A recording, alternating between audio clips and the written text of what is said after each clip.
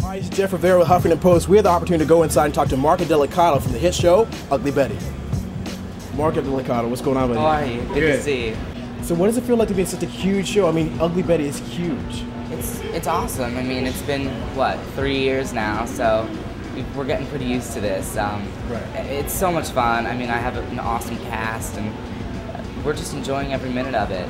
You know, we weren't expected to be here, so So, did you have any idea that it was actually going to be this huge of a show? definitely not. I mean, we were kind of like the underdog that came up um, out of nowhere and became a success. So we, I, I at least wasn't expecting anything except you know to meet some nice people and move on. But it turned into something that you know I made lifelong friends and something that you know is really awesome for my career. So I'm happy.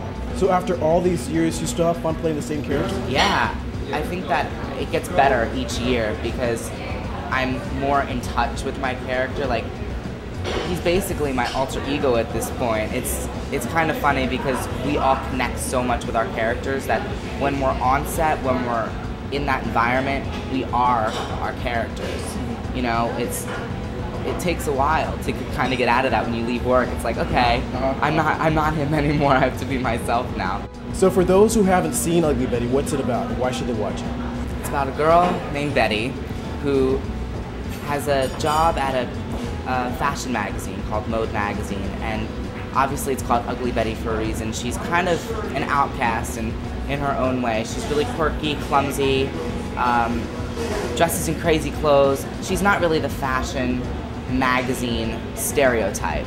And um, I play her nephew Justin, who is the complete opposite that you'd think should be working at Mode Magazine. He's fashion obsessed and loves to dress up and wear crazy clothes and be fashion forward. And it's it's basically just seeing life through Betty's eyes and um, watching her navigate through everyday challenges that she has to go through at work and at home.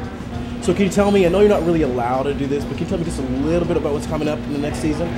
I know, at least for Justin, that there's going to be a lot of uh, things happening at school with him.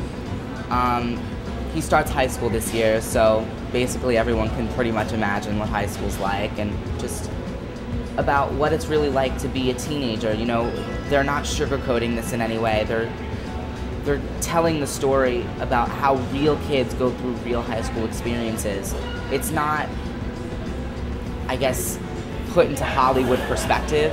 And I think that that's really, I think that's a really awesome thing because I think a lot of kids see kids that go to high school on TV and they're like, that's definitely not real. But things that Justin's going to be going through are definitely um, real, very real. Well, it was great meeting you, Mark. Great to meet you. Thanks a lot for your time. Thanks so much.